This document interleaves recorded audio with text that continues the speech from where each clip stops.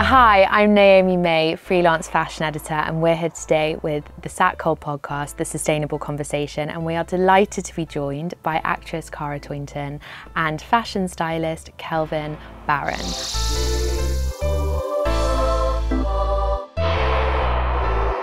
Guys, welcome to the Hello. podcast. Thank you for having It's us. good to be here. Thank you. We're really excited to have you here to talk all things sustainability. Um, Kelvin, I'm going to start with you. You're obviously a stylist, which means managing lots of different expectations and working with people. How do you incorporate sustainability into your work? So I would say for me personally, I'm a big fan of like the kind of dress rental um, and hire apps. I'm always on my phone. I'm very, very antisocial from the minute I kind of wake up in the morning, from the moment I go to bed. And I think for me, those kind of um, you know app platforms, um, the kind of resell, pre-loved, um, really work for my kind of lifestyle. And I can kind of just you know zoom through, see what's available, see where it is, and kind of work from there. Um, and I would also say that like my styling and kind of my aesthetic would be, I would say, uh, quite classic in terms of like how my styling kind of looks on the red carpet, on TV, and when I'm creating looks. And I would say that I'm definitely not like trend driven. So I think that gives a very kind of classic look to my styling. And if I look at my work that's maybe, you know, five, six, seven, eight, even up to 10 years ago, it still feels relevant today. So I would say, you know, trends are there to buy pe- to make people buy more clothes. So if you kind of, you know, try to maybe dance to the beat of your own drum and don't follow that trend narrative, it means that you, know you're not consuming as much and not being dictated and kind of forced into buying new clothes and think, oh, I've got to have this to kind of fit in. So that that would definitely kind of be like my direction and where I sit with things. And it's almost like establishing your own sense of personal style, isn't it? Because then, if you, like you said, you buy things that you just really love or really suit you or whatever, then you're more likely to wear it for years to come, which is important. Definitely, yeah, yeah, yeah, definitely. And I know we're all fashion lovers here, so tell me, guys, we're not gate- gatekeeping anything. Where do we go to find our favourite secondhand and pre loved pieces? What are your secrets? Oh, well, for me, there's a store in Covent Garden because it's near where I live, and I usually have a really good rummage through there every sort of couple of months.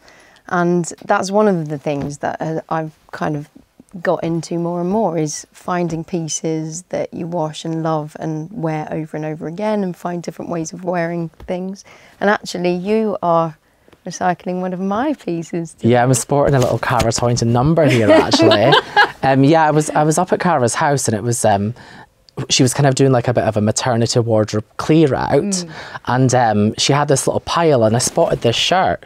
And I was like, oh, that looks quite nice. And, you know, I gave it a little try on, gave it a little, a little go, and I just really liked it. And yeah, it's something I feel really, you know, comfortable in. And, you know, it's nice to kind of send that message out. But I think I think also like when we're re-wearing clothes, it can have different meanings to us, and I think it's kind of like you know Uh, like of sentiment as well, which mm. is quite nice. You know, Kara when, when I was pregnant, and you know I've got a really and nice. really close. He's uh, Kelvin's really close to my boys. You're like so Uncle Calvin, and so like, it feels like yeah. a special kind of like bond that you know. And whenever I put this shirt on, I always like think of Kara's kids and, and her. So mm. it, it's a it's a really nice feeling. and that's really good for me because every time I see him wear it, it gives me a bit of a kick. And and I think that you know, as I get older, feeling good and thinking about how we use everything, not just fashion, everything in our lives, um, is changing and we're evolving. And yeah, the story behind things, you can make something of something and have an afterlife, and that feels good. And a lot of my friends, in fact, one of my friends in particular, one of my closest friends, she is. You know, I'm by no means an expert, but she kind of spurs me on, and we between us, we um, share our kids' clothes out, and once one is too big, I pass to her, and you know, so it's it's really nice, and I think that's the way we're thinking more and more.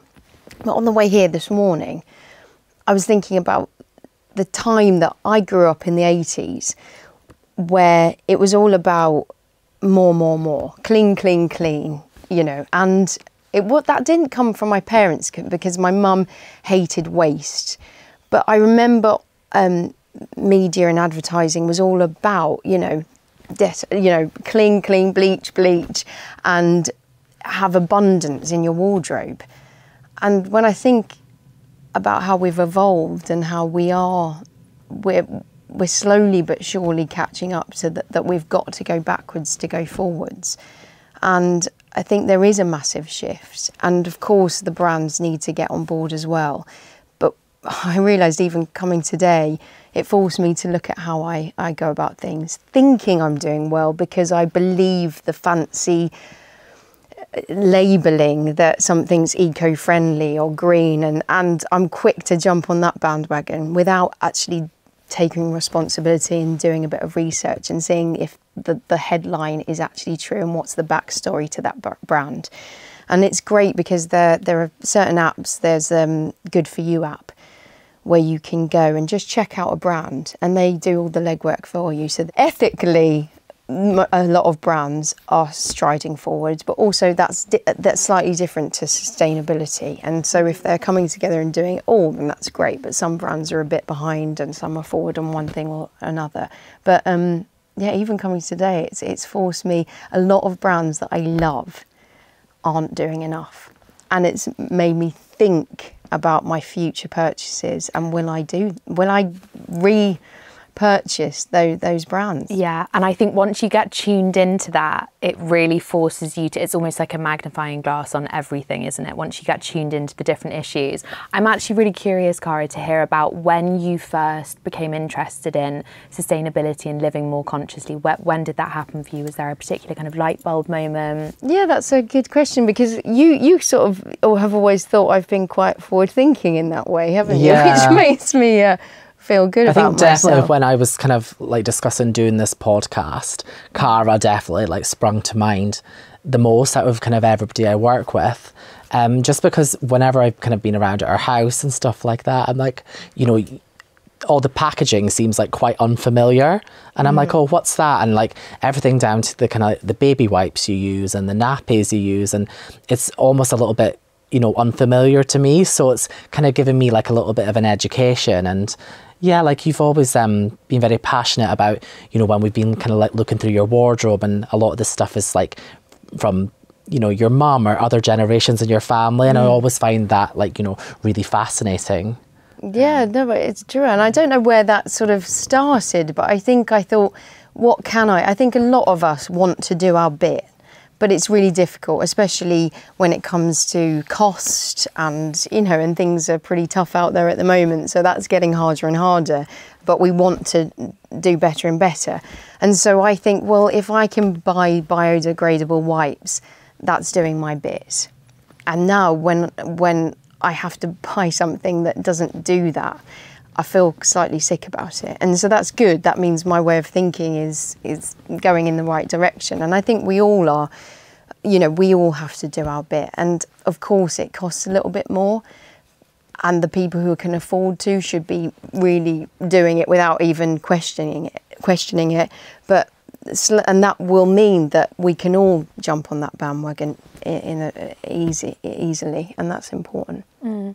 Do you feel like motherhood changed your approach to sustainability and being yeah, more conscious? For sure. And I think I'm, I'm obsessed with being organised because, as Kelvin will know, I'm mm-hmm. the most unorganised person going. I'm dyslexic and I'm a mess.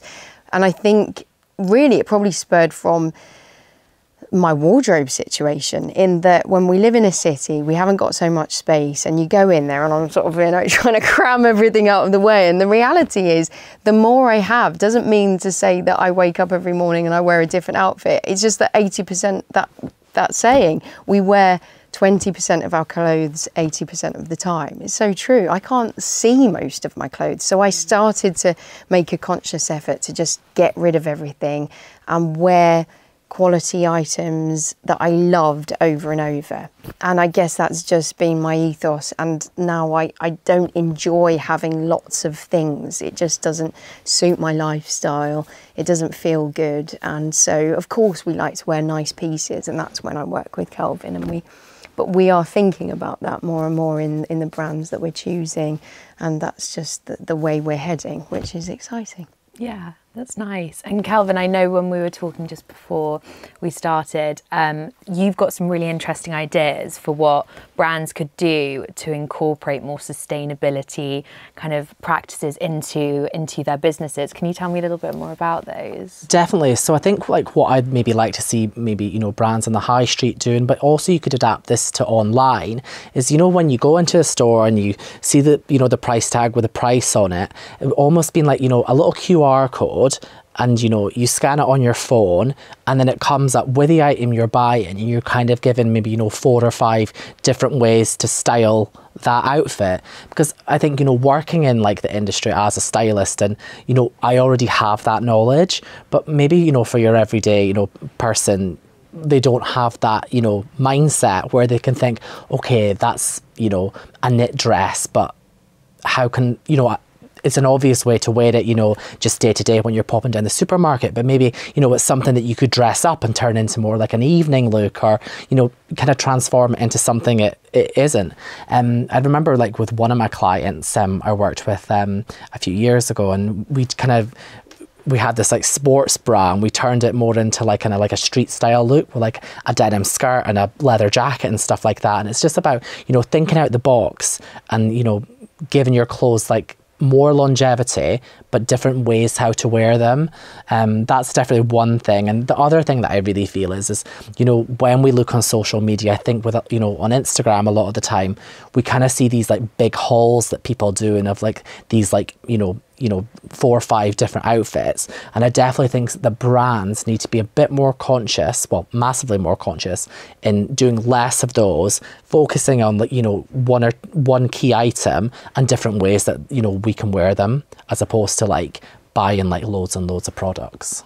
Mm. And that's almost key to what you were saying about having less stuff and just knowing how to wear things more. Yeah. There's a lot of brands out there. I think the way we're going is it's also important to look close to home, brands that are homegrown, homemade, that aren't being shipped across the world.